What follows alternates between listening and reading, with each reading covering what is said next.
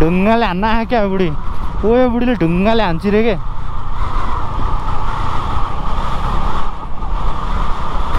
यो बुढीले ढुङ्गाले हान्छ के यहाँ मान्छे देख्यो भने ढुङ्गाले हान्छ रे क्या पर्लक्क फर्केर हेरेको यार क्या डर लाग्यो पहिला त उता थियो हामी आएको त ठ्याक्क आइकि के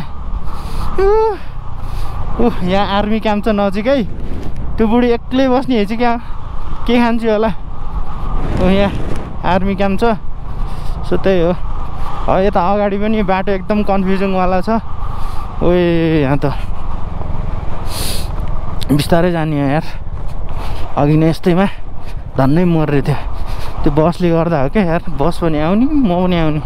ठ्याक्क ठाउँमा उस गर्छु भन्दाखेरि स्पिड बढी भयो क्या बन्द हानिदेऊ त।